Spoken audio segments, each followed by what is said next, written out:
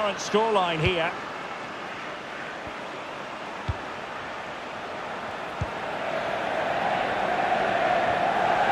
He's going forward well here. A glorious chance. Can he finish?